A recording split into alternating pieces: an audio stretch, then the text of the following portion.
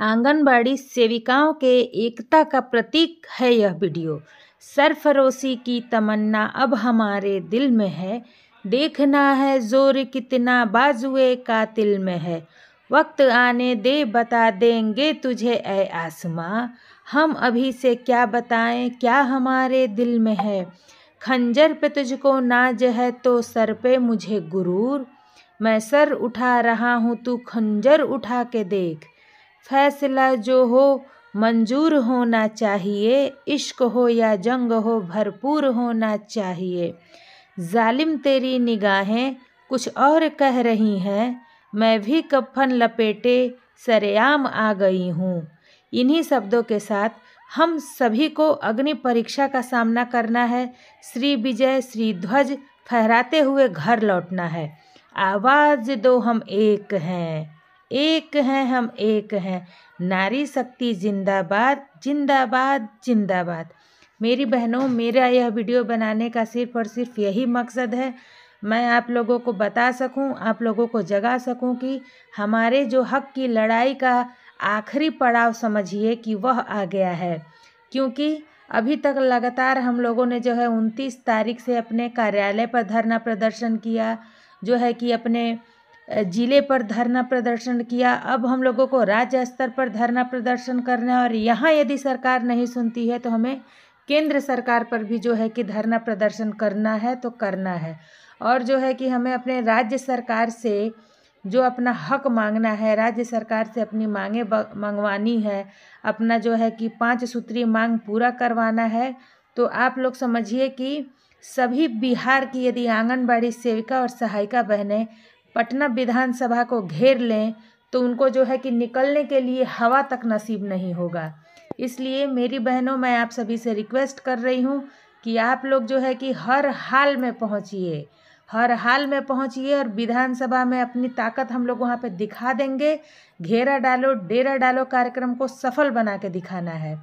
मेरा यह वीडियो बनाने का मकसद सिर्फ़ और सिर्फ़ आप लोगों को जगाना है कि जो भी बहनें यह सोच रही हैं कि एक मैं नहीं जाऊँगी तो क्या हो जाएगा, एक मैं नहीं जाऊँगी तो क्या हो जाएगा। अरे बहनों, यदि सब किसी के मन में यही सवाल रहेगा, सब कोई यही सोचे कि वो जा रही है ना, वो जाए, मैं क्या करूँगी जा कर के और बहुत दूर है तो बहुत जो है कि दिक्कतों से हम लोगों को जाना है तो बिना दिक्कत झेले, बिना परेशानी झेले कभी कुछ नहीं हासिल हो सकता। इसलिए मेरी बहनों, हम जिस विभाग में हैं, उस विभाग का नाम ही दिक्कत, परेशानी और समाज सेविका है।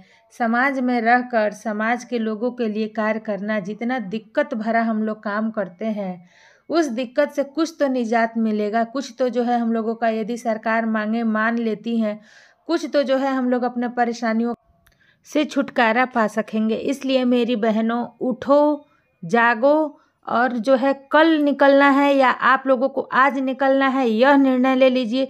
जो पास की सेविकाएँ हैं, वो कल भी निकल सकती हैं।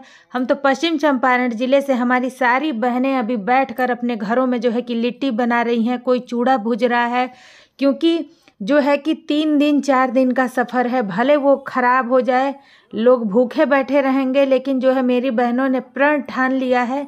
हम हर हाल में विधानसभा का घेराव करेंगे और घेरा डालो, डेरा डालो कार्यक्रम को सफल बना सकेंगे।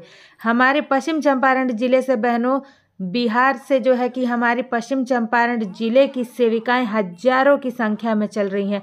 यदि पूरे बिहार में जो है हम लोगों का अभी आप लोगों को पड़ता है कि अड़तीस ज़िला हम लोगों के बिहार में है।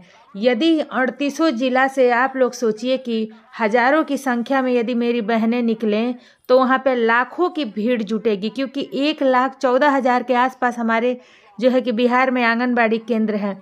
और सेविका सहायिका मिला करके जो है कि कम से कम दो से ढाई लाख के बीच में हमारी संख्या होगी।